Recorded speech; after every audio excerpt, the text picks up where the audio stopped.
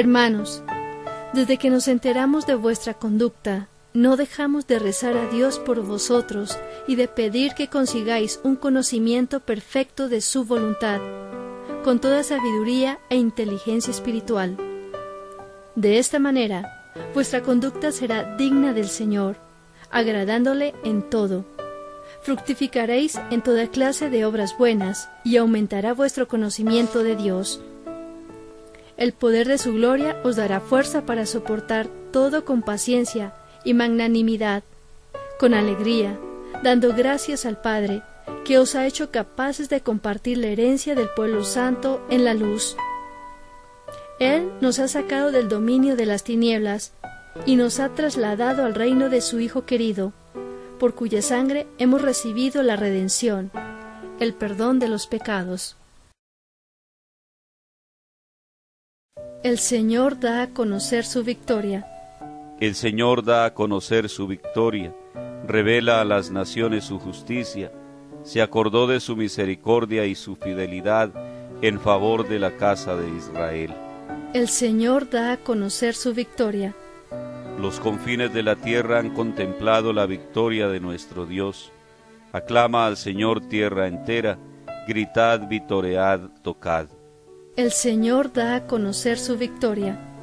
Tocad la cítara para el Señor, suenen los instrumentos con clarines y al son de trompetas, aclamad al Rey y Señor. El Señor da a conocer su victoria.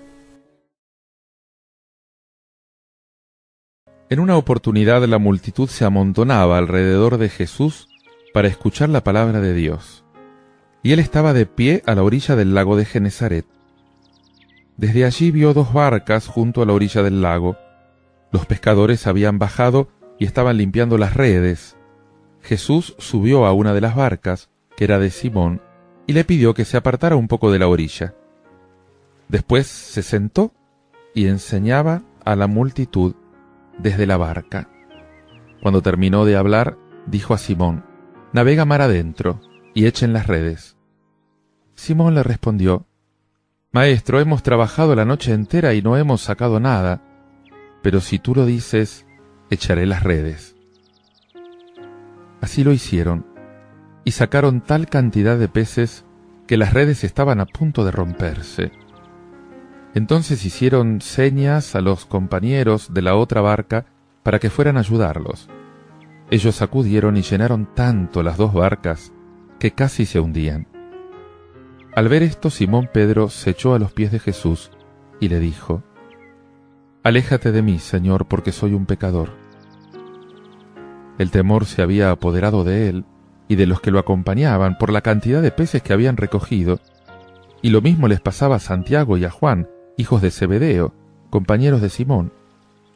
Pero Jesús dijo a Simón, No temas, de ahora en adelante serás pescador de hombres. Ellos atracaron las barcas a la orilla y abandonándolo todo, lo siguieron.